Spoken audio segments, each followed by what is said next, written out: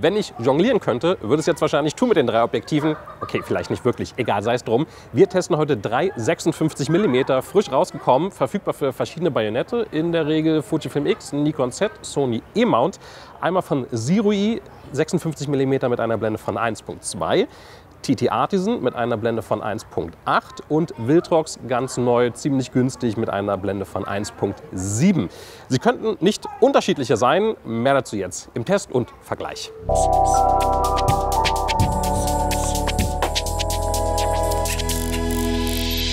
Hier haben wir sie, die drei Objektive, einmal von Sirui, einmal von TT Artisan und einmal von Viltrox.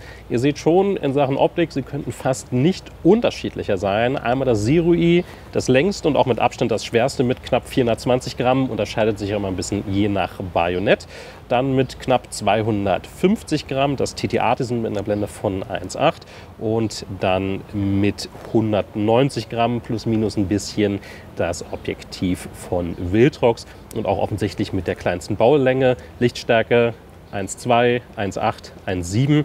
Also das Viltrox minimal lichtstärker noch als das TT Artisan, aber trotzdem nicht irgendwie großartig ja, schwerer oder größer, sondern sogar noch ein Stück leichter und kleiner.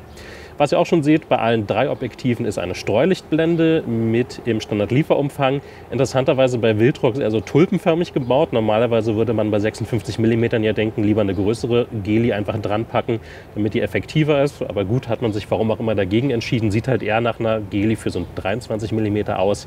Alle drei Objektive haben manuellen Fokusring, keinen Blendenring mit drin, kein Autofokus, manuell Fokusumschalter. Also in der Hinsicht eigentlich alles ziemlich Basisausstattung. Und alle drei Objektive, ich zeige es nur mal exemplarisch hier einmal am Wildrox, haben hinten einen USB-C-Anschluss, um Firmware-Updates zu machen.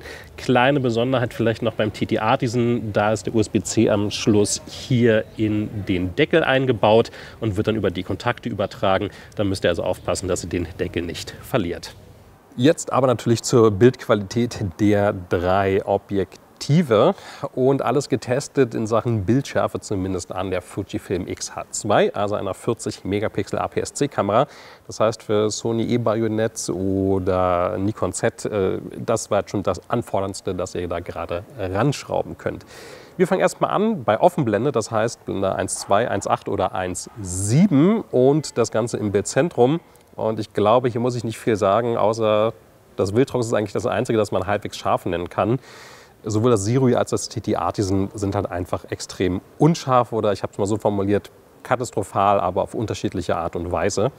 Und selbst wenn wir jetzt abblenden auf Blende 2.8, das Wildrox, klar, wird natürlich noch ein Stück besser, das sieht wirklich gut aus. Und sowohl das Serio als auch das TT Artisan kommen selbst bei Blende 2.8 mit Mühe und Not so ein bisschen an das Level ran, das Wildrock schon bei Offenblende schafft. Ich würde sogar beim Serio sagen, das ist sogar noch ein Tick darunter.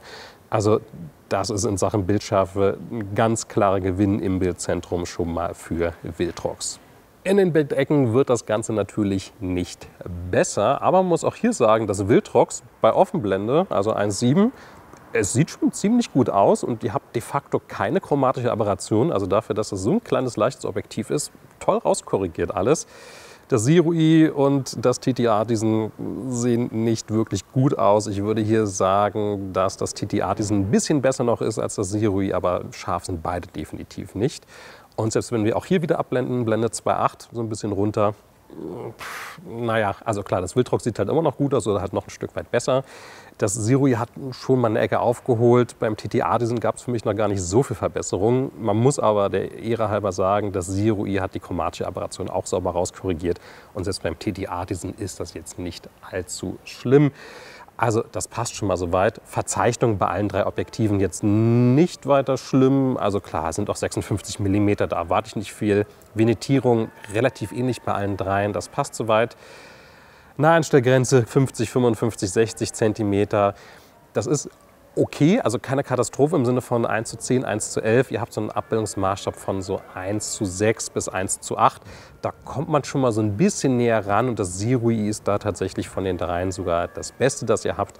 Aber das ist okay, würde ich sagen. Das ist jetzt nicht der, der große negative Punkt. Das ist dann schon eher die Bildschärfe. Und insgesamt muss ich, glaube ich, nicht viel sagen, außer dass Wildrox wischt wirklich mit den anderen beiden hier den Fußboden auf, was schon erstaunlich ist. Und gerade das Zero mit Blende 1.2, dass man da schon wirklich eigentlich in den Bildecken bis Blende 5.6 effektiv gehen muss, damit es halbwegs scharf ist.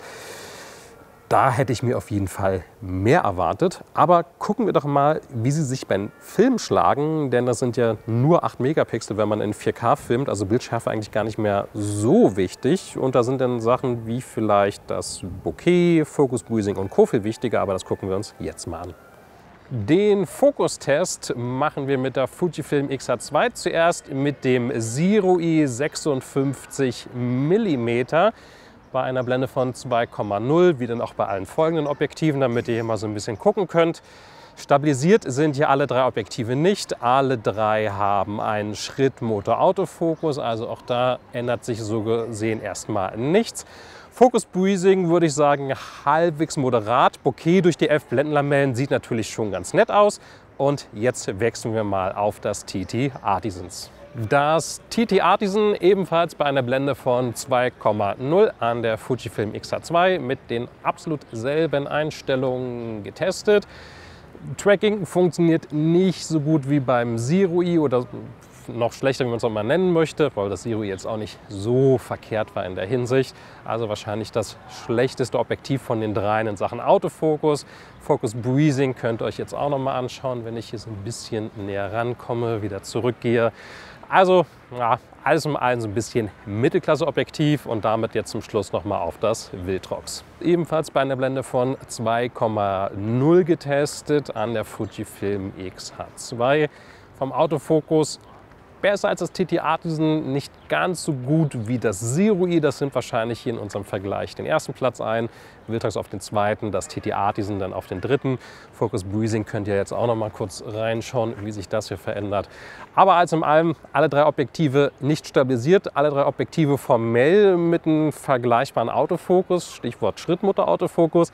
Aber wie man sieht, es gibt schon noch Unterschiede. Das Zero i, also tendenziell zum Film vielleicht doch ein bisschen spannender und das Bokeh mit elf Blendenlamellen auch noch mal ein Mühe besser.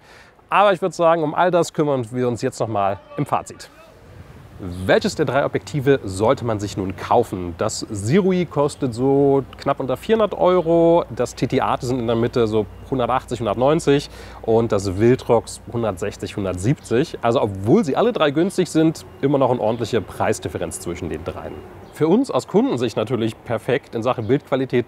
Ihr habt es ja gesehen, muss ich nicht viel sagen das Wildrox wischt mit den anderen beiden hier wirklich den Fußboden auf. Also das ist ja bei Offenblende teilweise noch schärfer als die anderen beiden abgeblendet bei Blende 2.8 bis 4, je nachdem, wo man jetzt hinschaut. Also das ist schon wirklich überragend, da gibt es überhaupt nicht zu diskutieren. Es gibt noch einen ganz kleinen Punkt für mich, der vielleicht fürs Sirui spricht. Und das sind die Leute, die damit filmen wollen jetzt nicht, weil es besonders toll aussieht, sondern ihr habt natürlich mit elf Blendenlamellen noch ein bisschen besseres Bokeh. Ihr habt de facto kein Focus Breezing mit drin. Das sind so Sachen, die kommen dem ganz schon zugute. Ihr habt dadurch halt auch Blende 1.2 statt 1.7, also auch noch ein mächtigeres Bokeh tendenziell. Und mal realistisch, selbst 4K-Video sind ja nur 8 Megapixel. Da ist es jetzt mit, es ist nicht ganz so scharf, nicht so schlimm. Also es sieht immer noch soft aus, gar keine Frage. Aber es stört halt nicht so wie jetzt bei einer 40-Megapixel-Kamera beim Fotografieren.